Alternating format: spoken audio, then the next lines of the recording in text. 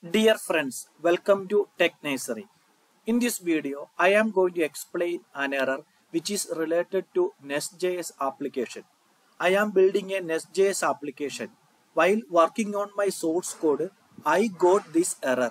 So, I thought that it is better to explain its solution and the problem with you. It may help you. Before explaining the problem and its solution, I have a request. Please consider to subscribe my channel because by subscribing you are actually encouraging me to create more videos like this which may help you or others in the future. Let us get into the problem and its solution. I have opened my Next.js application source code on VS Code. I have opened my terminal also. Let me save it for a second. Compiled in 4 to 5 millisecond. Let us check it on the browser. Let me refresh.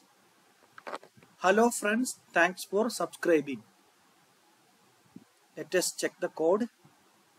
We have loaded page.tsx on the browser. I have main tag, then p tag. Inside p tag, I have hello friends, thanks for subscribing. Now, I have a idea to enter something below this hello friends, thanks for subscribing. Let me type div. Please like my video and share with friends okay this is the one which I want to edit on this page.tsx file. Now let us check it on the browser. Hello friends. Thanks for subscribing. Please like my video and share with friends. But in this left down corner bottom corner I have an error. Let me click on it unhandled runtime error error hydration failed because the initial UI does not match what was rendered on the server. See more info here. Https nextjs.org docs messages react hydration error. Unhandled runtime error something called react hydration error. In html div cannot be descendant of p. This will cause a hydration error. It is showing here home component we have main component then we have child p component then we have child div component. It was working fine but when we add this div component inside this p component we got this react hydration error. Because in html syntax div cannot be descendant of p. That is the problem here. We cannot place div component div tag div html tag inside this p html tag. We can do the opposite. Div div and we can place p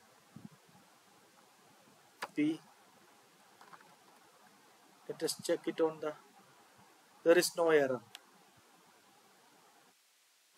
Because in html rule div can be parent of p.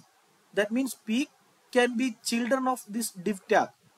But opposite cannot possible. Div cannot be the child of p tag